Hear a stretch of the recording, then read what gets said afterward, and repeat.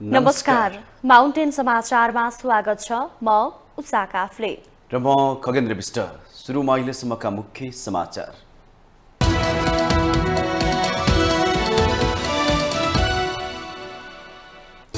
चालु आर्थिक वर्षमा पनि विकास लक्षित पुँजीगत खर्च नगणन सरकार असफल। मुलुकको आर्थिक विकासको लक्ष्यमाथि ठुलो धक्का। नागरिकको अवस्था टिठ लाग्दो। मिटर ब्याज पीडितहरूको समस्या समाधानका लागि तीन सदस्यीय छानबिन समिति गठन। गौतम बुद्ध अन्तर्राष्ट्रिय क्रिकेट रङ्गशालाको स्वामित्व सरकारले लियो। तीन क्षेत्रको उपनिर्वाचनमा चर्चित अनुहारले गरी उम्मेदवारी दर्ता मङ्सिर चारपछि पहिलोपटक दल र स्वतन्त्रको जनता सामु परीक्षण हुँदै राजनीतिक खिचातानीले जनतामा बढ्दै गएको वितृष्णाप्रति आफू जानका रहेको पूर्व राजा ज्ञानेन्द्र शाहको भनाई टालटुले प्रणालीले कुनै परिणाम दिन नसक्ने ठोकुवा। पेट्रोलियम पदार्थको मूल्य प्रतिलिटर दस रुपियाँसम्म घट्यो। पेट्रोलमा प्रतिलिटर तिन रुपियाँ डिजेल र मट्टी तेलमा प्रतिलिटर दस रुपियाँ घट्दा ग्यास यथावत। भारतीय कङ्ग्रेसका नेता राहुल गान्धीद्वारा मानहानि मुद्दाको फैसला विरुद्ध माथिल्लो अदालतमा अपिल। फैसला नआएसम्म धरौटीमा रहने छुट अप्रिल तेह्रमा सुनवाई। र इन्डियन प्रिमियर लिग आइपिएलमा चेन्नई सुपर किङ्सको दोस्रो खेलमा पहिलो जित लखनऊ सुपर जायन्ट्सलाई बाह्र रनले पराजित।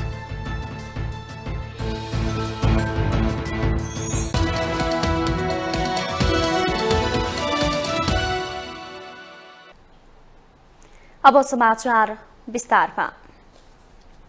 हरेक पटक दोहोरिने समस्यालाई सरकारले गम्भीरतापूर्वक नलिँदा चालु आर्थिक वर्षमा पनि पुँजीगत खर्च निकै न्यून देखिएको छ जसका कारण आर्थिक विकासको लक्ष्यमा तुसारा पात हुने निश्चित छ। सरकारले विकास खर्च गर्न नसक्दा मुलुकको पूर्वाधार निर्माण कार्य मात्रै पछि परेको छैन बढ्दो बेरोजगारीले नागरिक अवस्था टिट लाग्दो बन्न पुगेको छ। एक रिपोर्ट। विकास लक्षित पुँजीगत खर्चको सुस्तताले मुलुकको आर्थिक विकासको लक्ष्यमाथि यस वर्ष पनि ठूलो धक्का लागेको छ। आर्थिक वर्षको नौ महिना घर्किन लाग्दा समेत विकास लक्षित बजेटको खर्च शून्यताकै अवस्थामा छ भन्दा फरक पर्दैन। चालु आर्थिक वर्षको मङ्सिर महिनासम्म मुलुकमा चुनावी माहौल भएकोले निर्वाचन आचार संहिताका कारण सरकारले धेरै ठूला काम गर्न सकेन तर चुनावपछि सरकारले विकास कार्य रफ्तारमा गर्छ कि भन्ने अनुमान यति बेला गलत साबित भएको छ। नेपालका लगभग अडतिस चालिस जिल्लाको आय आर्जन भनेकै सरकारी बजेट हो। सरकारले सडक पुल पुलेसा सिँचाइ खानेपानी विद्युत आयोजना लगायतका विकास निर्माणका काम गरे ती जिल्लाहरूमा आय आर्जन हुन्छ। तर चालु आर्थिक वर्षमा सरकारले विकासका यस्ता योजना अघि बढाउन नसकेपछि मुलुकको पूर्वाधार निर्माण कार्य मात्रै पछि परेको छैन। नागरिकको अवस्था पनि टिठ लाग्दो छ। विकास बजेट खर्च नहुँदा यत्र तत्र बेरोजगारी बढेको छ। चलिरहेका उद्योगहरू बन्द गर्नुपर्ने अवस्थामा छन्। जनस्तरमा पैसा छैन सरकारी कार्यालय र मन्त्रालयमा थन्किएको पैसा चलायमान गर्न नसक्नु सरकारको अर्को लासारीपन हो। अहिले मुलुकमा पैसा नभएर आर्थिक सङ्कट चुलिएको होइन। भएको पैसा थन्किएर बस्दा आर्थिक सङ्कट चुलिएको हो। विश्व आर्थिक मन्दीको असर हाम्रा छिमेकी देश भारत र चीन जस्ता विश्वका ठूला निर्यातकर्ता राष्ट्रमा परेको छैन भने हामीले विश्वमा आएको आर्थिक मन्दीले नेपालमा समस्या भयो भन्न मिल्दैन। हाम्रा आर्थिक अवस्थाको प्रमुख कारण हाम्रै मुलुकको असक्षम नेतृत्व हो। तर यस्तो गम्भीर विषयमा राजनीतिक नेतृत्वको ध्यान जान सकेको छैन। विगतका पाँच आर्थिक वर्षलाई आधार मान्ने हो भने औसत पुँजीगत खर्च दुई खर्ब अठार अर्ब रुपियाँको छ तर सरकारले वार्षिक औसत तीन खर्ब अठहत्तर अर्ब रुपियाँ विनियोजन गरेको छ। यस आधारमा पुँजीगत खर्चका लागि छुट्याएको रकम सन्ताउन्न प्रतिशत मात्रै खर्च हुने गरेको तथ्याङ्कले देखाउँछ। यसको अर्थ हो सरकारसँग पैसा खर्च गर्ने क्षमता नै छैन।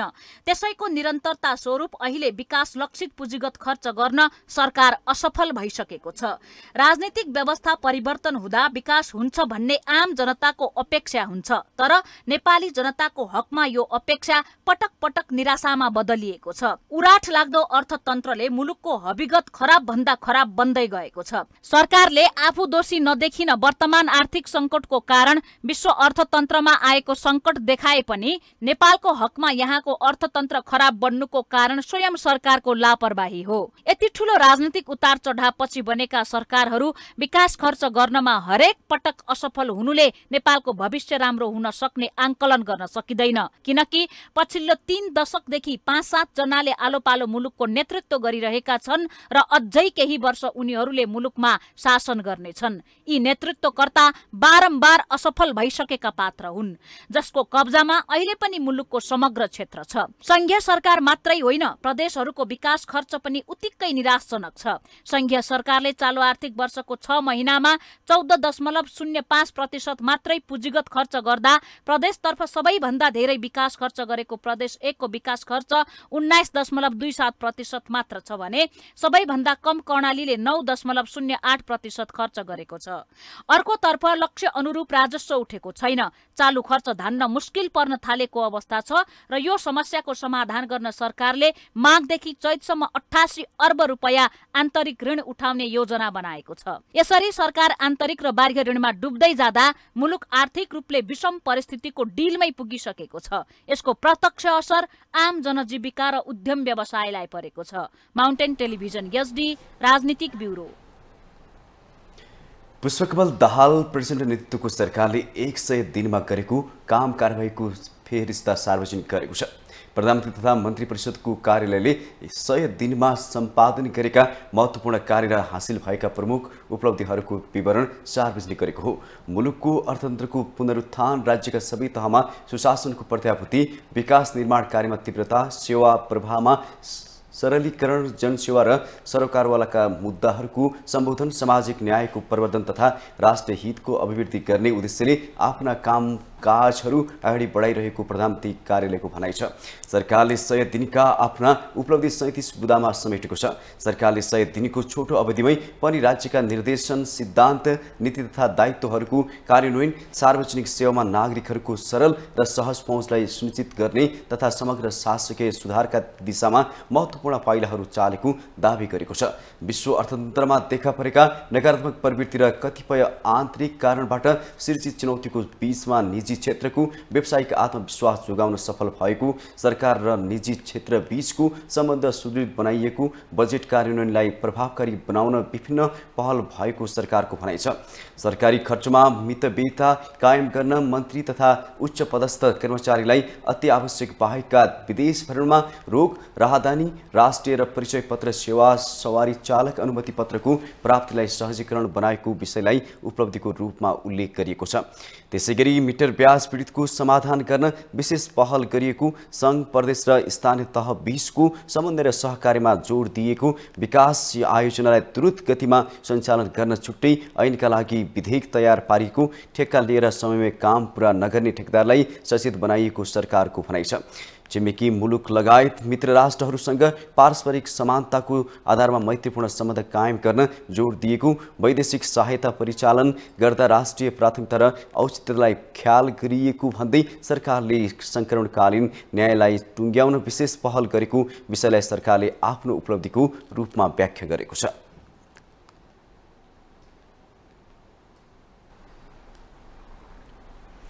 तेस्रो पटक पुष दसमा प्रधानमन्त्री नियुक्त हुनुभएका पुष्पकमल दाहाल प्रचण्डले सत्तामा सय दिनको कठिन यात्रा पुरा गर्नुभयो। सत्ता समीकरणमा फेरबदल र सात पटक मन्त्रीमण्डल हेरफेर र विस्तारमा उहाँको अधिकांश समय बित्यो। यसबीच धेरै विवादास्पद निर्णयहरू पनि भए। प्रचण्ड सरकारको सय दिन कस्तो रहे त एक रिपोर्ट। प्रधानमन्त्री पुष्पकमल दाहाल प्रचण्डले तेस्रो पटक सरकारको नेतृत्वमा पुग्दा आफूमा देशको विकास गर्ने हुटुटी रहेको बताउनु भएको थियो। उहाँमा जोस त देखियो तर कामको गति खासै अगाडि बढेन। सात पटक मन्त्रीमण्डल विस्तार गर्दा प्रचण्डले एकतिस जनालाई मन्त्री बनाउनु भयो। चुनाव अघिको गठबन्धन बदलेर प्रधानमन्त्री बन्नुभयो भने फेरि चुनाव अघिकै गठबन्धनलाई पुनः जागृत गरी विश्वासको मत लिनुभयो। उहाँ राजनीतिक शक्ति सङ्घर्षमै अल्झिनुभयो जनताको जीवन स्तर उकास्ने र तत्कालका समस्या समाधान गर्ने भन्दा जनयुद्धलाई गौरवशाली देखाउनमै शक्ति लगाउनु भयो। प्रमुख प्रतिपक्षी दल एमाले प्रचण्डले सरकारको सय दिन अस्थिरता र मन्त्री फेरबदलमै गुजारेको आरोप लगाएको छ। नेपाली जनजीविकाका अहम प्रश्नहरूलाई सम्बोधन गर्ने त्यो सामर्थ्य त्यो विश्वास देखिएन। त्यसैले वर्तमान सरकारको सय दिन म त्यो सरकारमा पनि सामेल भए तर सरकार सरकार जस्तो जनताप्रति उत्तरदायी जिम्मेवार बन्ने कुरामा यो सरकार सफल भएको छ प्रचण्डका लागि सय दिन सहज भएनन् राजनीतिक गतिविधिमै बढी समय खर्चिनु पर्दा सोचे अनुरूपको काम गर्न नसकिएको स्वीकार्नुहुन्छ माओवादी नेता गणेश शाह हुन पनि यसबीच समीकरण बदलिनेदेखि राष्ट्रपति उपराष्ट्रपतिको निर्वाचन भयो। चुनाव चाहिँ एउटा गठबन्धन बन्नु पहिले चाहिँ सरकार चाहिँ अर्को गठबन्धनसँग बन्यो। त्यसैले अहिले नै अबको जुन भन्नुहुन्छ भने अब चाहिँ उहाँको यो चाहिँ कार्यकाल जुन सय दिन भन्यो त्यो चाहिँ लटर पटर यो मैले भने नि या यो यो विश्वासको मत लिने म दुई दुईचोटिमा बितेको हुनाले अब उहाँको मूल्याङ्कन चाहिँ अबको एक महिनापछि गऱ्यो भने चाहिँ यथार्थपरक हुन्छ जस्तो लाग्छ। पहिले नै उहाँको मूल्याङ्कन गर्ने बेला भइ नसकेको जस्तो मलाई लाग्छ। देशमा राजनीतिक अस्थिरता गहिरिँदैछ। आर्थिक सङ्कटको डरलाग्दो तस्विरहरू देखिरहेको छ। वित्तीय संस्थाहरू समस्याग्रस्त छन्। रोजगारी गुमिरहेको छ भने युवा पलायनले गाउँ सहरमा युवा नै नहुने परिस्थिति विकास भइरहेको छ। यी समस्याहरूको समाधान गर्ने ठोस योजना ल्याउन सरकारले खासै योगदान दिन सकिरहेको देखिँदैन। संरक्षित र सुरक्षित रूपमा भ्रष्टाचार ठुलो परिणाममा भइरहेको छ। सरकारले स्वास्थ्य शिक्षा कृषि रोजगार विकास लगायतका जनतासँग प्रत्यक्ष जोडिने कामहरूमा ध्यान दिनुपर्नेमा नदेखिएको गुनासो बढिरहेको छ। अर्थतन्त्र सुधारका लागि कुनै पनि भूमिका खेल्न नसकेको र आलोचनाका चाङमुनि प्रचण्डका सय दिन बितेको भन्दै आलोचना भइरहेको छ। खास गरिकन देशलाई सम्पूर्ण रूपमा ट्रान्सफर गर्नलाई economic transformation social transformation educational transformation होइन? यसमा यो ट्रान्सफर्मेसनका एजेन्डा चाहिँ यो सय दिनमा उहाँको केही पनि देखिएको छैन। उहाँले केवल पोलिटिक्स गरेर गफ गरेर समय बिताउनु भएको छ। यो एक सय दिन उहाँको गफमा देशले लगभग दुई खर्ब रुपियाँ सकेको छ अहिले त्यति हो। एक सय दिनमा सरकारको काम कारबाहीले भविष्यको आकलन गर्न सकिन्छ। सबैभन्दा टटकारो देखिएको विषय भनेको राजनीतिक अस्थिरताको दलबल बीच प्रचण्ड सरकार बढ्नु पर्ने नै हो। यो चुनौतीका बावजुद पनि इच्छा शक्ति भए देश र जनताको हितमा काम गर्न नसकिने होइन। तर प्रचण्डले वर्तमान र पूर्व माओवादीको हितमै केन्द्रित भएर आम जनताप्रति अनुत्तरदायी व्यवहार गर्दै जाने हो भने उहाँले आफ्ना कारण गणतन्त्र सङ्घीयता र धर्मनिरपेक्षता सहितको व्यवस्था आएको भन्ने गर्नुभएको छ। त्यो जोगाउन नसक्ने अवस्था बन्न सक्छ। माउन्टेन टेलिभिजन एसडीका लागि लक्ष्मीप्रसाद नेउपानी काठमाडौँ। सरकारले मिटर ब्याज पीडितहरूको समस्या समाधानका लागि तीन सदस्य छानबिन समिति गठन गरेको छ। सोमबार सिंहदरबार स्थित प्रधानमन्त्री तथा मन्त्री परिषद कार्यालयमा बसेको मन्त्री परिषद बैठकले विशेष अदालतका पूर्व अध्यक्ष गौरी बहादुर कार्कीको नेतृत्वमा नेपाल प्रहरीका पूर्व एआइजी उत्तम सुवेदी र डिआइजी गणेश बाबु अरियाल रहेको छानबिन समिति गठन गरेको हो। समितिलाई मिटर ब्याज पीडितहरूको समस्या समाधान हुने गरी ठोस र व्यवहारिक प्रतिवेदन तयार पार्नका लागि तीन महिनाको समय दिइएको भनी सरकारका प्रवक्ता एवं सञ्चार तथा सूचना प्रविधि मन्त्री रेखा शर्माले जानकारी दिनुभयो। बैठकले मिटर ब्याज पीडितहरूको समस्या समाधानका लागि गठित उच्च स्तरीय आयोगको कार्यालय मधेस प्रदेशको राजधानी जनकपुरमै राख्ने निर्णय पनि गरेको छ। मिटर ब्याज पीडितहरूलाई आफ्नो समस्या राख्न सहज हुने भएकाले सरकारले सो निर्णय पनि गरेको मन्त्री शर्माले बताउनुभयो। हामीले यो निर्णय गरिसके पछाडि हामीलाई के विश्वास छ भने मिटर ब्याज पीडितहरूको समस्या अझ हामीले के पनि गरेका छौँ भने यसको मुख्यालय जनकपुरमै राख्ने भनिएको छ। कार्यालय होइन त्यस कारणले गर्दाखेरिमा त्यही फिल्डमै गएर समस्याको समाधान गर्ने आयोग नै बनिसकेको भएको हुनाले हिजोको जस्तो कार्यदल त्यसले ल्याएको रिपोर्ट जस्तो मात्रै कुरा होइन। अहिलेको आयोगले ठोस र मूर्त समाधानसहितको रिपोर्ट ल्याउने भएको हुनाले सबै मिटर ब्याज पीडित जनसमुदायसँग पनि मेरो के आग्रह छ भने अब यसको लागि काठमाडौँ आइराख्नु पर्दैन। हाम्रो यो आयोगै जनकपुरमा गएर बस्छ र त्यहीँबाट समस्याको समाधान खोज्छ। त्यस कारण उहाँहरूलाई पनि मेरो त्यो आग्रह छ। ए काठमाडौँमा दुःख नगरिदिनुहोस् भन्ने आग्रह छ। त्यसै गरी मन्त्री परिषद बैठकले गृहमन्त्री र गृह सचिवले गुप्तचर परिचालनका लागि आफू खुसी खर्च देखाउन नपर्ने गरी बनेको कार्यविधि पनि खारेज गरेको छ। गृहमन्त्री र गृह सचिवले आफू खुसी खर्च गर्न पाउने गरी बनेको सो कार्यविधि खारेज गर्ने निर्णय गरिएको पनि मन्त्री शर्माले बताउनुभयो। त्यसै गरी सरकारले गौतम बुद्ध अन्तर्राष्ट्रिय क्रिकेट रङ्गशालाको स्वामित्व लिएर निर्माण सम्पन्न गर्ने भएको छ। दुर्म सुन्तली फाउन्डेसनले चितवनमा निर्माण गर्ने भनेको उक्त रङ्गशाला रकम अभावका कारण केही वर्षदेखि अल्पत्र परेको छ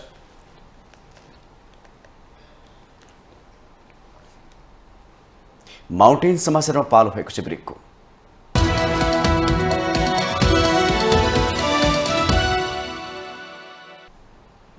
ब्रेकपछि स्वागत छ अब बाँकी समाचार वैशाख दसमा हुने उपनिर्वाचनलाई जनता माझ दलहरूको पछिल्लो अवस्थाको परीक्षणका रूपमा लिइएको छ मङ्सिर चारपछि पहिलो पटक दल तथा स्वतन्त्र उम्मेद्वारहरू जनता माझ पुगेका छन्। यसबीच सत्ता समीकरणमा फेरबदल र शक्ति सङ्घर्षका क्रममा अस्वस्थ गतिविधिहरू भई अब जनताले दलहरूको गतिविधिलाई कसरी जवाफ दिनेछन् प्रतीक्षाको विषय बनेको छ। एक रिपोर्ट। देशको तीनवटा निर्वाचन क्षेत्रमा उपनिर्वाचन भनिए पनि यसले निकै चासो बढाएको छ। कारण हो अधिकांश चर्चित उम्मेद्वारहरू चुनावी मैदानमा उत्रिनु। मङ्सिर चारमा चुनावमा पराजित भएकाहरू मध्ये केहीले उपनिर्वाचनलाई अवसर मानेर फेरि अर्को प्रयास गर्दैछन्। कतिपयले उम्मेद्वार बन्नकै लागि दल परिवर्तन गरेका छन्। उपनिर्वाचनका लागि तनहु एक चितौन दुई र बारा दुई गरी तीनवटै निर्वाचन क्षेत्रमा उम्मेद्वारको मनोनयन पत्र दर्ता भएको छ। सर्वाधिक चर्चामा रहेको चितौन दुईबाट राष्ट्रिय स्वतन्त्र पार्टीका सभापति रवि लामिछानेले उम्मेद्वारी दर्ता गराउनु भएको छ।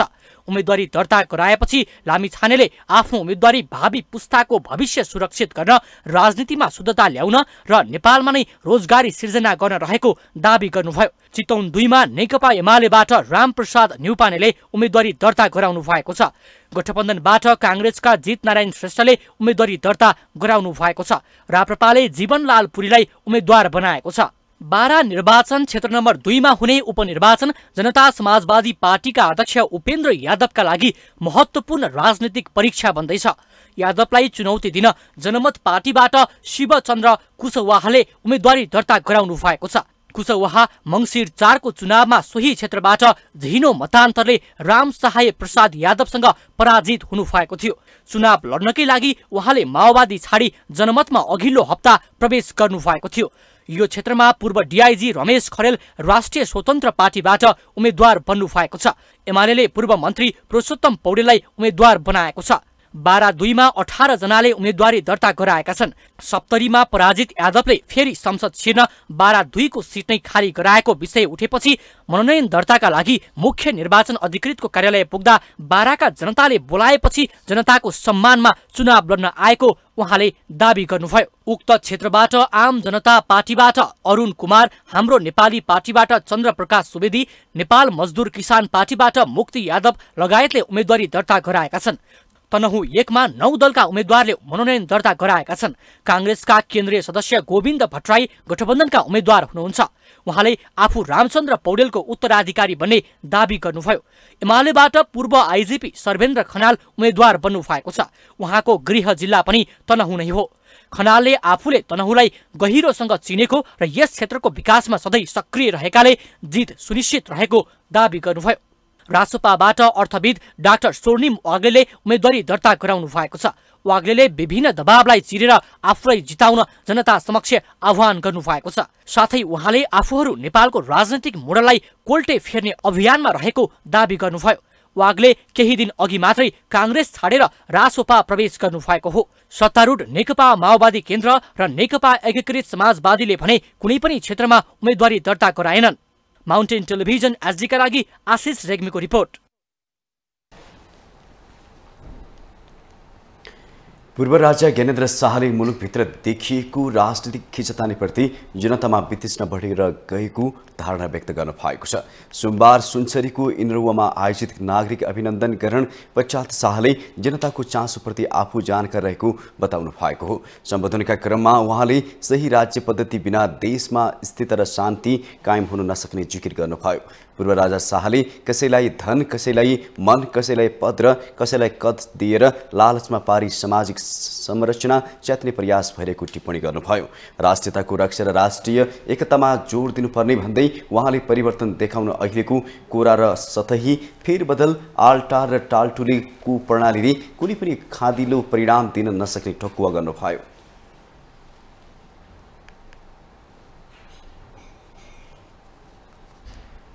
र सतही फेर बदल आलटाल र टालटुलको प्रणालीले कुनै खदिलो परिणाम दिँदैन। निश्चय पनि हामीले राष्ट्रियता र राष्ट्रिय एकताको रक्षा गर्नु छ। पूर्व राजा शाहले देशमा स्थिरता छाओस् भन्ने आफ्नो चाहना रहेको बताउनु भएको छ।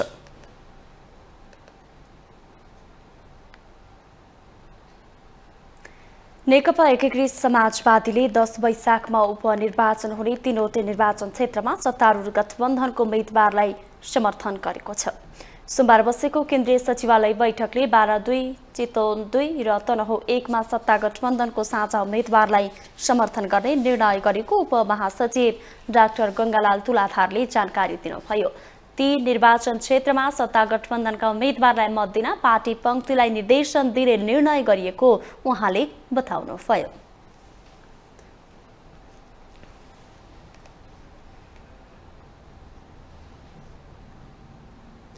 सरकारले पहिले गरेका सम्झौता पालन नगरेको र नयाँ सहमति पनि फितलो भएको भन्दै मिटर ब्याज पीडितहरूको दोस्रो टोलीले काठमाडौँ आएर प्रदर्शन गरेका छन्।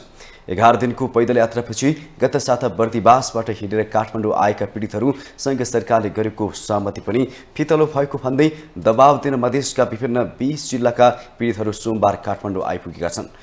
एक हजारभन्दा धेरै पीडितहरू आइतबार राति नै बसबाट काठमाडौँका लागि प्रस्थान गरेका थिए। सरकारले आफ्ना माग पुरा नगरेसम्म घर नफर्किने भन्दै उनीहरूले सोमबार भद्रकाली र माइती घरमा पुगेर प्रदर्शन गरेका छन्। यसअघि शनिबार सरकार र मिटर ब्याज पीडित बीच समस्या समाधानका लागि उच्च स्तरीय आयोग गठन गर्ने सहमतिको पाँच बुधे सहमति भएको थियो। सरकारसँगको सहमति फितलो रहेको भन्दै दोस्रो टोलीले आन्दोलन नरोक्ने चेतावनी दिएको छ। सरकारले तराईका विभिन्न जिल्लाबाट आएका मिटर ब्याज पीडितहरूको एउटा समितिसँग सरकारले पाँच बुधे सहमति गरेको छ। तर सरकारले एउटा समूहका पीडितसँग सहमति गरेको दुई दिनपछि देशभरका मिटर ब्याज पीडितको अर्को टोली काठमाडौँ आएर आन्दोलन सुरु गरेका छन्। सोमबार काठमाडौँमा आएका मिटर ब्याज पीडितहरूले आफूहरू विरुद्ध अदालतमा दायर गरेका मुद्दा खारेज गर्नुपर्ने लगायतका विभिन्न माग राखेका छन्।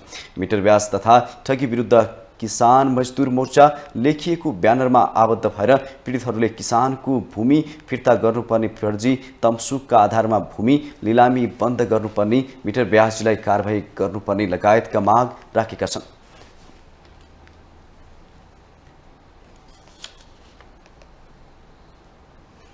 राहदानी दुरुपयोगको उजुरीमा राष्ट्रिय स्वतन्त्र पार्टीका सभापति रवि लामिछानेलाई गैरकानुनी रूपमा उन्मुक्ति दिएको भन्दै सर्वोच्च अदालतमा रिट दर्ता भएको छ।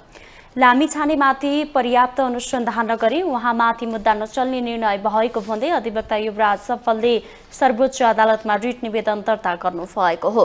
अधिवक्ता सफलले लामिछानेमाथि मुद्दा नचल्ने भनी महान्यायाधिवक्ता कार्यालयले गरेको निर्णय बदर गर्दै अनुसन्धान गरी मुद्दा चलाउन आदेश हुनुपर्ने माग गर्नुभएको छ।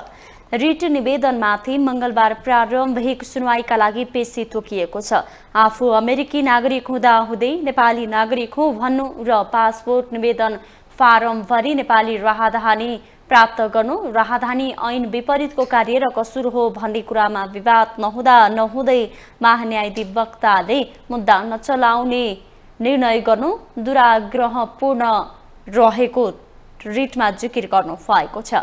राहदानी दुरुपयोग गरेको भनी परेको जुरीमा अनुसन्धान गरेको प्रहरीले लामिछानेमाथि मुद्दा नचल्ने सहित सरकारी वकिलको कार्यालयमा प्रतिवेदन पेश गरेको थियो। त्यही प्रतिवेदनका आधारमा सरकारी वकिलले मुद्दा नचल्ने भनी गरेको निर्णयलाई महान्यायाधिवक्ताले सदर गर्नु भएको थियो।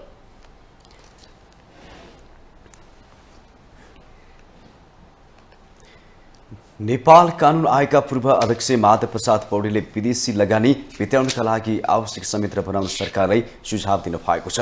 विदेशी पुँजी प्रविधि र सिप भित्राउन सरकारले सम्बन्धित देशसँग सन्धि सम्झौता गर्नुपर्ने भएकाले त्यसका लागि संयन्त्र बनाउन आवश्यक रहेको उहाँको भनाइ थियो। सोमबार राष्ट्रिय सभा अन्तर्गतको राष्ट्रिय सरकार तथा समन्वय समितिको बैठकमा पूर्व अध्यक्ष पौडेलले विदेशी लगानीलाई संरक्षण गर्न सम्बन्धित देशहरूबीच सन्धि सम्झौता गर्न आवश्यक रहेको स्पष्ट पार्नु भएको हो। भारतीय प्रधानमन्त्रीको विदेश भ्रमणमा सबैभन्दा बढी जोड सन्धि सम्झौतालाई दिने गरेको उल्लेख गर्दै त्यसबाट नेपालका प्रधानमन्त्री र मन्त्रीहरूले पनि सिक्नुपर्ने उहाँले बताउनु भयो मुलुकमा पुँजी प्रविधि सिप भित्रिन सक्ने सम्झौता छन् भनेदेखि हामीले गर्नुपर्ने हुन्छ सन्धि गर्नुपर्ने हुन्छ हजुरहरूले मार्ग गर्नु होला इन्डियन प्राइम मिनिस्टर विदेशमा गयो भने उनले कम्तीमा एक दर्जन सन्धि सम्झौता गरेर आएका हुन्छ खास गरी उनको फोकसै छ विदेशी पुँजी विदेशी प्रविधि विदेशी सिप भित्र्याउने किसिमका पोलिसी गएको हुन्छ हाम्रो नेताजीहरू हाम्रो प्रधानमन्त्री बाहिर विदेश जाँदाखेरि सन्धि गर्ने बित्तिकै फसिन्छ भन्ने साथ चिन्ताले होला। यतातिर ध्यान गएको हुँदैन। त्यस कारण यो विषयमा अलिकति हामी सजग हुनु जरुरी छ। विदेशी पुँजी विदेशी प्रविधि विदेशी सिप भित्रिने खालको लगानी भित्रिन सक्ने किसिमको चाहिँ विषयलाई हामीले प्राथमिकता दिनुपर्ने हुन्छ। पौडेलले भारतसँग गरिएको सन् उन्नाइस सय पचासको सन्धि पुनर्अवलोकन गर्न राष्ट्रिय सहमति गरेर अघि बढ्न सरकारलाई सुझाव दिनुभयो।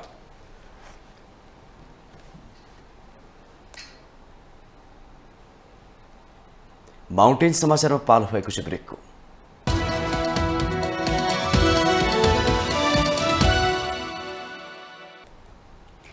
ब्रेकपछि पुनः स्वागत छ। अब बाँकी समाचार।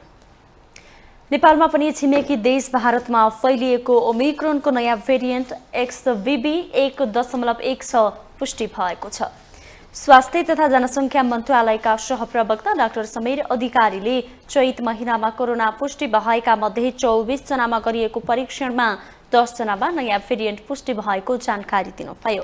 मन्त्रालयका अनुसार कोभिड नाइन्टिनमा हुने अनुवांशिक परिवर्तनको पहिचान गर्ने उद्देश्यले राष्ट्रिय जनस्वास्थ्य प्रयोगशालामा देशभरबाट फ्रेन्डम स्याम्पलिङ विधिबाट चैत महिनामा सङ्कलित चौबिसवटा पिसिआर र एन्टिजेन पोजिटिभ नमुनामा परीक्षण गर्दा कोरोनाको नयाँ भेरिएन्ट पुष्टि भएको हो। छिमेकी देशमा पनि उक्त भाइरस फैलिरहेको हुँदा मन्त्रालयले सीमाबाट आवत जावत गर्ने शङ्कास्पद लक्षण भएका यात्रुहरूको सीमा नाकाका हेल्थ डेस्कमा रहेका स्वास्थ्य कर्मीबाट कोभिड नाइन्टिन परीक्षण नजिकको अस्पतालमा उपचार गर्ने अवस्था व्यवस्था मिलाएको जानकारी दिनुभएको छ। नेपाली मौसमी रुगा खोकीका साथै कोभिड नाइन्टिनको सङ्क्रमण पनि बढ्दै गएकोले रोकथाम एवं नियन्त्रणका लागि सबै तहबाट प्रभावकारी भूमिका बढाउन संवेदनशील हुन समेत मन्त्रालयले आग्रह गरेको छ। साथै मन्त्रालयले जनस्वास्थ्यका मापदण्डको पालना गर्न गराउन र सम्भावित जोखिमबाट बच्न बचाउन अनुरोध पनि गरेको छ। पछिल्लो समय कोरोना सङ्क्रमितको सङ्ख्या बढ्दै गएको छ। चौबिस घन्टामा एघार सय एकाउन्न जनामा एकाउन्न जनाको कोरोना परीक्षण गर्दा छयत्तर जनामा पुष्टि भएको छ सोही समयमा सोह्रजना सङ्क्रमण मुक्त भएका छन् अठाइस हजार सात सय तिनजनाले कोरोना विरुद्धको खोप लगाएका छन् नेपालमा सक्रिय सङ्क्रमितको सङ्ख्या दुई सय सत्ताइस पुगेको छ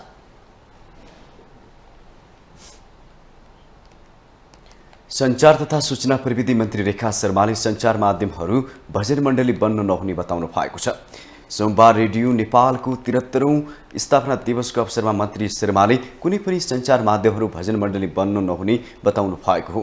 कतिपय सञ्चार माध्यमहरू सरकारको तर्फबाट पनि सञ्चालन भइरहेको उल्लेख गर्दै उहाँले सञ्चार माध्यम भजन मण्डली हुनु हुँदैन भनेर नै सैद्धान्तिक मान्यता अनुरूप प्रसारण ऐन संसदमा प्रस्तुत भएको बताउनु भयो। उहाँले प्रसारण ऐन पारित भइसकेपछि सञ्चार माध्यमहरूमा नयाँ वातावरण सिर्जना हुने दावी गर्नुभयो। उहाँले सरकारले आम सञ्चार ऐन र मिडिया काउन्सिल ऐन पनि संसदमा प्रस्तुत गर्ने तयारी गरिरहेको बताउनु भयो। मन्त्री शर्माले अहिले पनि सबै क्षेत्रमा इन्टरनेटको पहुँच विस्तार गर्न नसकेको स्वीकार गर्नुभयो। हाम्रा सञ्चारका साधनहरू जो सरकारले सरकारको सहयोगमा पनि सञ्चालन भइरहेका छन् यिनीहरू भजन मण्डली हुनुहुन्न भनेर हामीले भनिरहेका छौँ। त्यही भजन मण्डली हुनुहुन्न भन्ने हाम्रो सैद्धान्तिक मान्यता अन्तर्गत अहिले प्रसारण ऐन जसरी हाम्रो संसदमा गएको छ त्यो प्रसारण ऐन पारित भइ भइसक्दाखेरिमा रेडियो नेपाल र नेपाल टेलिभिजनका विषयमा त्यसले नयाँ एउटा नयाँ परिवेश नयाँ वातावरण सिर्जना गर्नेछ। मन्त्री शर्माले जनतालाई सुसूचित बनाउने जनतामाझ प्रभावकारी काम गर्ने वातावरण सिर्जना गर्ने कार्यक्रमहरू सञ्चार माध्यमहरूले प्रसारण एवं प्रकाशन गर्न जरुरी रहेको बताउनु भयो।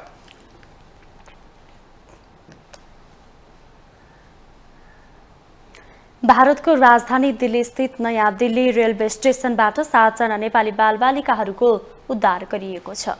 एक हप्ता लामो विशेष सुधार अभियानबाट सात नेपाली बालबालिकाको उद्धार गरिएको हो। विभिन्न सङ्घ संस्थाको संयुक्त पहलमा गत मार्च सत्ताइसदेखि अप्रेल दुईसम्म गरिएको संयुक्त उद्धार अभियानमा नेपाल बङ्गलादेश र भारतका विभिन्न राज्यबाट दिल्ली पुगेका झण्डै चार सय बालबालिकाको उद्धार गरिएको अभियानमा संलग्न उद्धारकर्मीहरूले बताएका छन्। रेलवे स्टेसनका विभिन्न प्लेटफर्महरू रेलवे स्टेसनको प्रवेश र निकासद्वारमा खटिएका उद्धारकर्मीहरूले बालबालिकाहरूको उद्धार गरेका हुन्। दिल्ली सरकार अन्तर्गत बाल कल्याण समितिका अध्यक्ष वरुण पाठकले सात दिनसम्म चलाइएको अभियानमा उक्त सङ्ख्यामा बालबालिकाहरूको उद्धार गरिएको बताउनुभयो। नेपाली बालबालिकाहरूलाई विभिन्न प्रलोभनमा दिल्ली पुर्याइने गरेको भन्दै उहाँले बालबालिकाहरूलाई नेपाली राजदूतावासको समन्वयमा स्वदेश पठाउने काम गरिरहेको पनि जानकारी दिनुभएको छ। पाठकले नेपालको तराई क्षेत्र विशेष गरी रौतहटका बालबालिकाहरू धेरै दिल्ली पुग्ने गरेको बताउनु भएको छ। बालबालिकाहरू घरको आर्थिक अवस्था कमजोर रहेकाले ठुलो सहर घुम्ने रहर र प्रलोभनमा परेर दिल्ली पुग्ने गरेको पाइएको उद्धारमा खटिएकाहरूले बताएका छन्।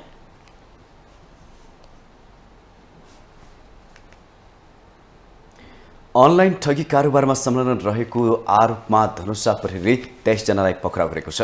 जिल्ला प्रहरी कार्यालय धनुषाबाट खटिएको टोलीले उनीहरूलाई जनकपुर धामको पिडारी चोक स्थित बर्गर हाउसको छेउबाट सोमबार साँझ पक्राउ गरेको हो। उनीहरूले पिडारी चोकमै एउटा ल्यापटप भाडामा लिएर अनलाइन ठगीको कारोबार गर्दै आइरहेको सूचनाको आधारमा पक्राउ गरिएको जिल्ला प्रहरी कार्यालय धनुषाका प्रहरी नायब उपरीक्षक वेद प्रसाद गौतमले जानकारी दिनुभयो। उनीहरूले विभिन्न एप मार्फत हनी ट्र्याप जस्तो धन्दा गर्दै आएको प्रहरी नायब उपरीक्षक गौतमले दावी गर्नुभयो। पक्राउ पर्नेमा चौधजना पुरुष र नौजना महिला छन्। विभिन्न खालको अनलाइन ठगी हुन्छ भन्ने सूचना आएको थियो। सूचना आउँदाखेरि हामीले लगभग चालिस पैँतालिसवटा कम्प्युटर तेइसजना मानिसहरू फेला पारेका छौँ। अनि यो यिनीहरूले अनलाइनबाट के गरिरहेछ कस्तो काम गरिरहेछ भन्ने खालको हामी अनुसन्धान गरिरहेको यसमा अनलाइन ग्याम्लिङ पनि हुनसक्छ अनलाइन ठगी हुनसक्छ चिट्ठा परो भन्ने खालको पनि हुनसक्छ। यसलाई हामी अनुसन्धान गरिरहेछौँ। अहिले तत्काल हामीले मानिस र त्यो मा त्यसमा भएको कम्प्युटरका डिभाइसहरू नियन्त्रण ल्याएको छौँ। अब यसमा हामी थप अनुसन्धान भए वास्तवमा के हुँदैछ त्यो मात्रै हामी बोल्न सक्छौँ। पक्राउ परेका उनीहरूमाथि थप अनुसन्धान भइरहेको र विस्तृत आउनु बाँकी रहेको गौतमले बताउनु भयो।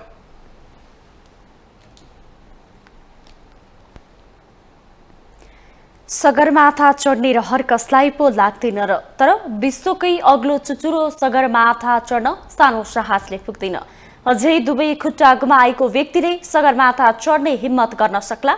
यो कुरा सामान्य मान्छेको लागि समेत कल्पनाभन्दा बाहिरको कुरा हो। तर हिम्मत गर्नु भएको छ हरि बुढा मगरले एक रिपोर्ट।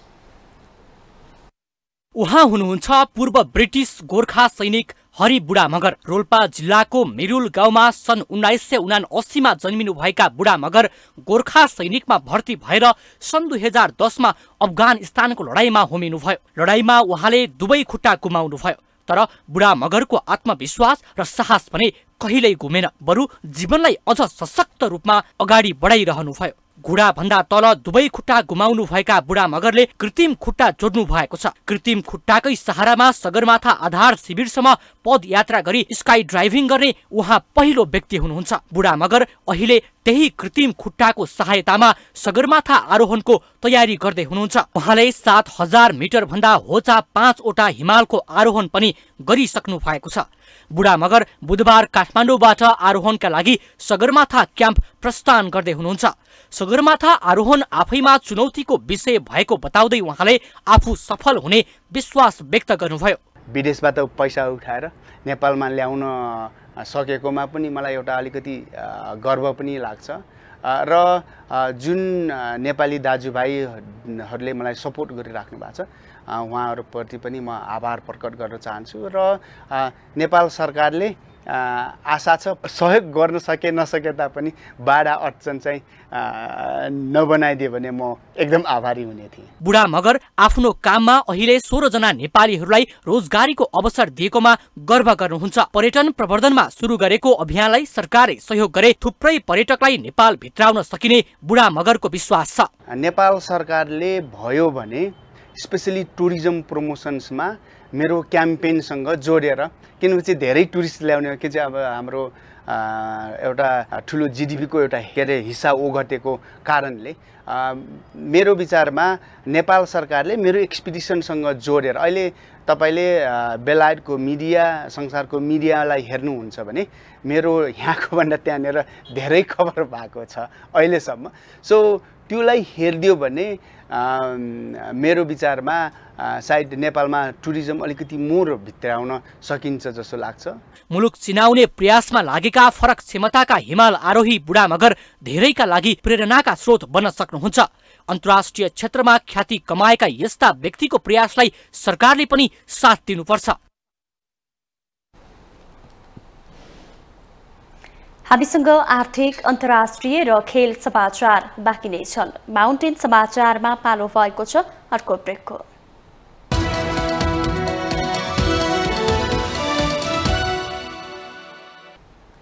ब्रेकपछि स्वागत छ पालो आर्थिक समाचारको। आर्थिक समाचारको साथमा। जगदम्बा सुपर साइन तथा ग्याल्बा प्लस जीवनभरको भरोसा। प्रस्तुत छ रिद्धि सिद्धि सिमेन्ट गुणस्तरको नयाँ स्तर।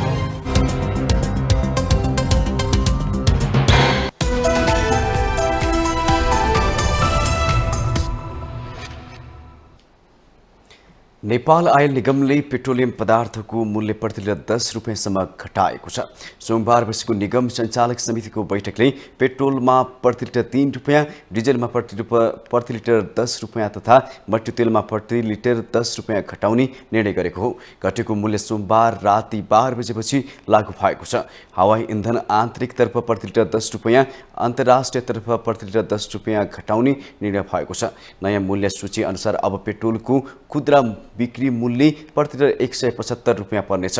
डिजेल मट्टी तेलको खुद्रा बिक्री मूल्य प्रति लिटर एक सय पैँसठी रुपियाँ पर्नेछ। खाना पकाउने ग्यासको मूल्य भने यथावत राखिएको छ। भारतीय आयल कर्पोरेसन आइओसीबाट अप्रिल एकमा भाउ घटेर आएपछि निगमले मूल्य समायोजन गरेको हो। आइओसीलाई बुझाउनु पर्ने बक्यौता र सरकारलाई तिर्नुपर्ने ऋणका कारण निगमले मूल्य समायोजन गर्न आनाकानी गर्दै आएको थियो। आइओसीको बक्यौता र सरकारी ऋणसहित अहिले पनि करिब चौध अर्ब दायित्व छ भए पनि उपभोक्तालाई केही राहत दिन अहिले मूल्य समायोजन गरेको निगमले जो बताएको छ।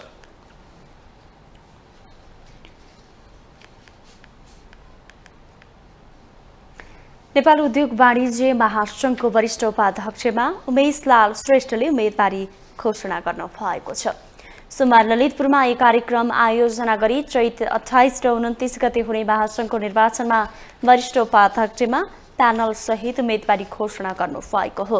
श्रेष्ठको प्यानलबाट जिल्ला तथा नगरतर्फ दिनेश श्रेष्ठ वस्तुगततर्फ हेमराज ढकाल र एसोसिएटतर्फको उम्मेद्वार भरतराज आचार्यले उम्मेदवारी घोषणा गर्नु भएको छ।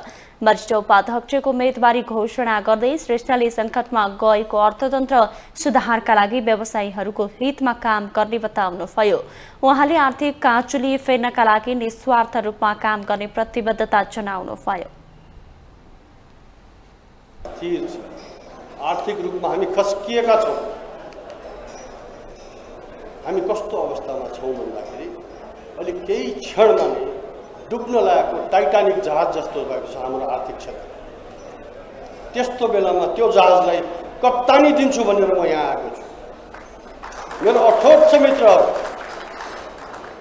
मेरो प्रण छ। म सेल्फलेस तरिकाले बिना स्वार्थ तरिकाले तपाईँहरूको भविष्यको लागि लड्छु। देशको यो जुन डरलाग्दो आर्थिक अवस्था छ त्यसलाई सुधार उन्मुख गराउनु म वरिष्ठ उपाध्यक्ष नै महासङ्घको स्वत अध्यक्ष बन्ने भएकाले वरिष्ठ उपाध्यक्षमा मुख्य प्रतिस्पर्धा हुनेछ महासङ्घको निर्वाचनमा वरिष्ठ उपाध्यक्षका मुख्य तीन प्रतिस्पर्धीले आफ्नो टिम घोषणा गर्नु भएको छ वरिष्ठ उपाध्यक्षका उम्मेद्वार द्वय अञ्चन श्रेष्ठ उमेश लाल श्रेष्ठ र रामचन्द्र सङ्घाईले आ प्यानल सार्वजनिक गरिसकेका छन्। चन्द्रप्रसाद ढकाल आगामी अध्यक्ष बन्नुहुनेछ।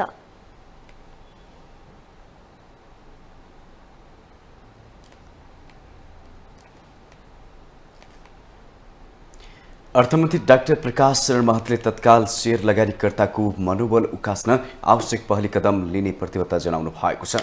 नेपाल उद्योग वाणिज्य महासङ्घ पुँजी बजार फोरमका सभापति अम्बिका प्रसाद पौडेलको नेतृत्वमा गएको टोलीसँग सोमबार भएको छलफलका क्रममा अर्थमन्त्री महतले यस्तो प्रतिबद्धता जनाउनु भएको हो। उहाँले सेयर लगानीकर्ताको सल्लाह सुझाव लिएर अगाडि बढ्ने र आगामी दिनमा संवादलाई निरन्तरता दिने प्रश्न पार्नुभयो। मार्जिन ऋणमा बाह्र करोडको सीमा हटाउन र एक सय पचास प्रतिशत रहेको जोखिम भार सय प्रतिशतमा झार्न अर्थमन्त्री महतसँग लगानीकर्ताहरूले आग्रह गरेका थिए।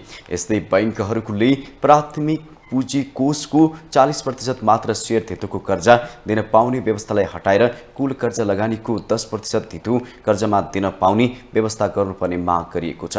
सेयर लगानीकर्तालाई अल्पकालीन र दीर्घकालीन दुई भागमा वर्गीकरण गर्दै अल्पकालीन लगानीकर्तालाई पाँच प्रतिशत र दीर्घकालीन लगानीकर्तालाई दुई प्रतिशत पुँजीगत लाभ कर कायम गर्नुपर्ने माग सेयर लगानीकर्ताले राखेका छन्। संस्थागत लगानीलाई आकर्षण गर्नका लागि संस्थाले सेयर कारोबार गरी प्राप्त गरेको आयमा पन्ध्र प्रतिशत आयकर लगाउने संस्थागत लगानीकर्ता र धितोपत्र व्यवसायले अग्रिम कर बापत एक दशमलव पाँच प्रतिशत अन्तिम कर बापत पन्ध्र कायम गर्नुपर्नेमा उनीहरूको जोड छ।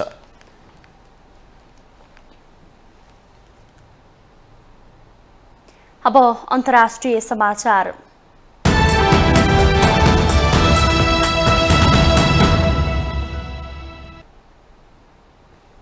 सुरतको एक अदालतबाट दोषी ठहर भएका कङ्ग्रेस नेता राहुल गान्धीले उक्त फैसला विरुद्ध माथिल्लो अदालतमा सोमबार अपिल गर्नु भएको छ। गान्धीले सुरतकै सेक्सन कोर्टमा फैसला विरुद्ध अपिल गर्नु भएको हो। फैसला नआएसम्मलाई अदालतले उहाँलाई धरौटीमा रहने छुट दिएको छ। सुरतको तल्लो अदालतका मुख्य न्यायिक मजिस्ट्रेटले तेइस मार्चमा एक मानहानि मुद्दामा गान्धीलाई दुई वर्षको जेल सजाय सुनाएका थिए। अदालतको उक्त आदेश लगत्तै राहुलको सांसद पद गुमेको थियो। फैसला सुनाएको उक्त अदालत नगर तहको हो। गान्धीले त्यस विरुद्ध जिल्ला तहको सेसन कोर्टमा पुनरावेदन गर्नु भएको हो। गान्धीको अपिलमाथि अदालतले आगामी तेह्र अप्रेलमा सुनवाई गर्नेछ। उहाँ अदालत पुग्दै गर्दा ठुलो सङ्ख्यामा काङ्ग्रेस नेता तथा कार्यकर्ता अदालत बाहिर थिए। प्रियङ्का गान्धी पनि दिल्लीबाट सुरत पुग्नु भएको थियो। दुई हजार उन्नाइसको एक चुनावी सभामा यी सबै चोरको थर मोदी किन भनेर दिएको भाषणलाई लिएर गान्धी विरुद्ध मानहानिको मुद्दा परेको थियो। अदालतले उहाँलाई दोषी ठहर गर्दै दुई वर्षको जेल सजायसँगै तिस दिनका लागि धरौटीमा रिहा तथा त्यस अवधिमा माथिल्लो अदालतमा अपिल गर्ने समय दिएको थियो। गान्धीको विपक्षमा आएको अदालतको फैसला त्यस लगतै लोकसभाले उनको सदस्यता रद्द गरेपछि भारतमा विपक्षी राजनीतिक तातिएको छ। विपक्षी दल भाजपा तथा नरेन्द्र मोदी नेतृत्वको सरकार विरुद्ध एकजुट हुने प्रयासमा देखिएका छन्। चार वर्ष अगाडिको गान्धीको यही अभिव्यक्ति विरुद्ध पटनामा पनि मानहानिको मुद्दा चल्दैछ। अर्को साता त्यसको सुनवाई पनि पटनामै हुँदैछ।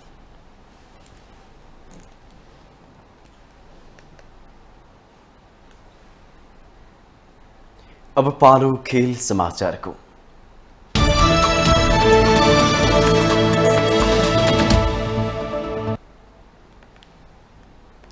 इन्डियन प्रिमियर लिग आइपिएलमा चेन्नाई सुपर किङ्सले दोस्रो खेलमा पहिलो जित हात पारेको छ। लखनऊ सुपर जायन्ट्सलाई बाह्र रनले पराजित गर्दै चेन्नाईले पहिलो जित हात पारेको हो।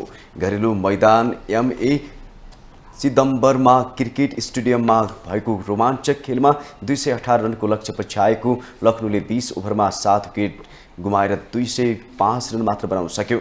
लखनऊमाथि चेन्नई बाह्र रनले विजयी भएको हो। लखनऊका लागि ओपनर कायल मेयर्सले लगातार दोस्रो अर्धशतक बनाउने क्रममा बाइस बलमा त्रिपन्न रन बनाए।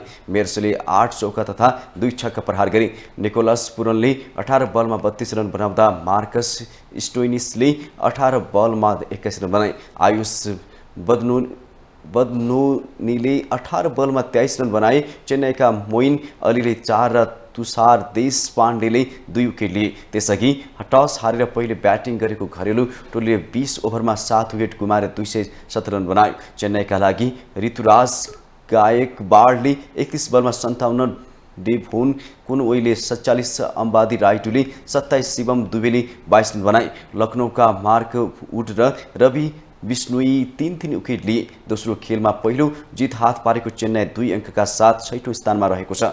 पहिलो खेलमा हार बेहोरेको लखनऊ दुई खेलमा दुई अङ्कका साथ तेस्रो स्थानमा रहेको छ।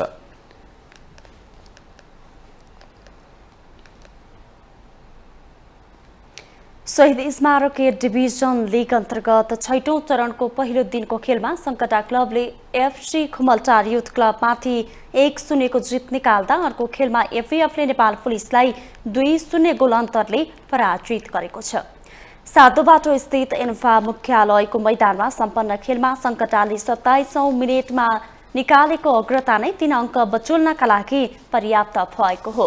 सङ्कटाका लागि जुनियर ओनगुनेले गरेको गोल नै निर्णायक भयो। यसअघि चौधौँ मिनटमा खुमलटारका मौसौके ओलोमौको प्रहार बाहिरिएको थियो।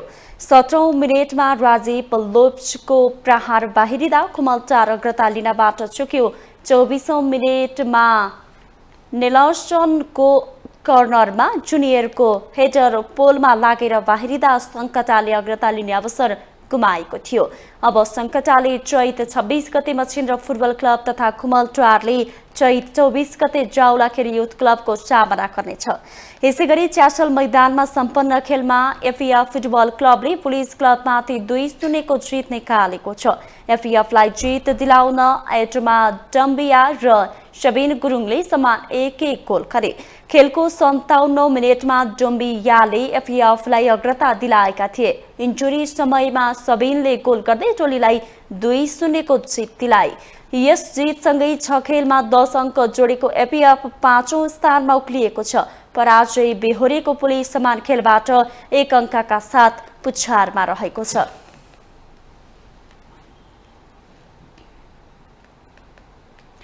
डिफेन्डिङ च्याम्पियन मसिन्द्र फुटबल क्लबले शहीद स्मारक ए डिभिजन लिगका लागि भुटानका कप्तान तथा स्ट्राइकर चेन्चु ग्यालसेनलाई सोमबार अनुबन्ध गरेको छ मचेन्द्रले सोमबार पत्रकार सम्मेलन गर्दै आधिकारिक रूपमा चेन्चुलाई आगामी चरणको लिगका लागि अनुबन्ध गरेको जनाएको हो अनुबन्ध अनुभवी खेलाडीहरू अस्ट्रेलिया प्रस्थान गरेपछि मसिन्द्र कठिन अवस्थामा रहेको थियो। नेपालमा हुँदै गरेको लिगका लागि अध्यक्ष सुनिल कपाली र चेन्चोले सम्झौता पत्रमा हस्ताक्षर गरे। क्लबले चेन्चोलाई कति रकममा अनुबन्ध गरेको भन्ने खुलाएको छैन। सम्झौतापछि चेन्चोले नेपालमा चलिरहेको लिगमा अनुबन्ध हुँदै खेल्ने खेल्न पाउँदा खुसी लागेको बताए।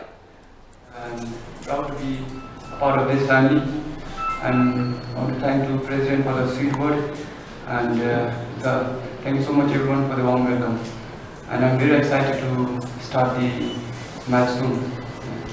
Uh, that, that is why the football has uh, no prediction so that's why uh, football is the, the beauty of football so anything can happen tomorrow so yeah, uh, it's been like uh, seven years I've been playing in India.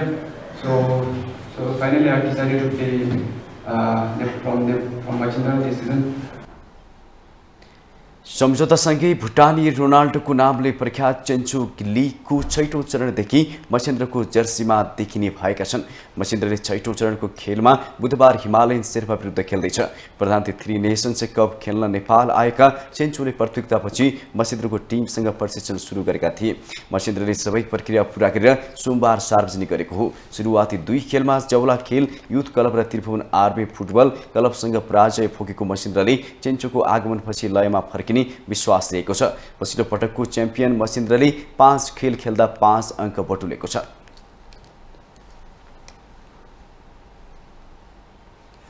Nepali राष्ट्रिय महिला football टोलीकी कप्तान Angela तुम्बाम्पो Subba र ब्याडमिन्टनका prince Dahal Nepal राष्ट्रिय तथा अन्तर्राष्ट्रिय खेलाडी सङ्घ एनएनआइपिएले प्रदान गर्ने अवार्डमा सर्वोत्कृष्ट चुनिएका छन्। एनएनआइपिएले आयोजना गरेको सटौँ एनएनआइपिए स्पोर्ट्स अवार्डमा महिलातर्फ एन्जिला र पुरुषमा प्रिन्सलाई सर्वोत्कृष्ट खेलाडीको अवार्ड प्रदान गरेको हो। उनीहरूलाई अवार्ड सहित समान एक एक लाख रुपियाँ प्रदान गरिएको छ। यस्तै करातेकी चञ्चला दनुवार महिलातर्फ र पुरुषतर्फ गल्फका सद्भावाचार्य प्रतिभाशाली खेलाडी चुनिएर जनाही पचास हजार प्राप्त गरेका छन्।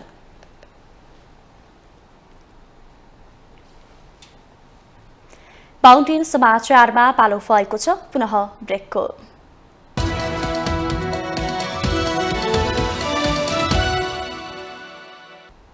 ब्रेकपछि स्वागत छ यो सँगै हामी माउन्टेन समाचारको अन्त्यमा आइपुगेका छौँ। जाँदा जाँदै मुख्य समाचार पुनः एकपटक।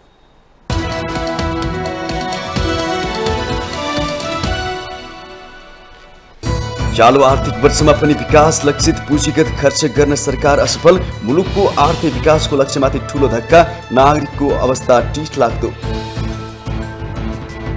मिटर ब्याज पीडितहरूको समस्या समाधानका लागि तीन सदस्यीय छानबिन समिति गठन। गौतम बुद्ध अन्तर्राष्ट्रिय क्रिकेट रङ्गशालाको स्वामित्व सरकारले लियो। तीन क्षेत्रको उपनिर्वाचनमा चर्चित अनुहारले गरे उम्मेदवारी दर्ता मक्सी चार पछि पहिलोपटक दल र स्वतन्त्रको जनता सामु परीक्षण हुँदै। राजनीतिक खिचातानीले जनतामा बढ्दै गएको वितृष्णाप्रति आफू जानकार रहेको पूर्व राजा ज्ञानेन्द्र शाहको भनाई टाल्टुले प्रणालीले कुनै परिणाम दिन नसक्ने ठोकुवा। पेट्रोलियम पदार्थको मूल्य प्रति लिटर दस रुपियाँसम्म घट्यो। पेट्रोलमा प्रति लिटर तिन रुपियाँ डिजेल र मट्टीतेलमा प्रति लिटर दस रुपियाँ घट्दा ग्यासको मूल्य यथावत। भारतीय कङ्ग्रेसका नेता राहुल गान्धीद्वारा मानहानी मुद्दाको फैसला विरुद्ध माफिल्लो अदालतमा अपिल। फैसला नआएसम्म धरौटीमा रहने छुट अप्रेल तेह्रमा सुनवाई। र इन्डियन प्रिमियर लिग आइपिएलमा चेन्नई सुपर किङ्सको दोस्रो खेलमा पहिलो जित। लखनऊ सुपर जायन्ट्सलाई बाह्र रनले पराजित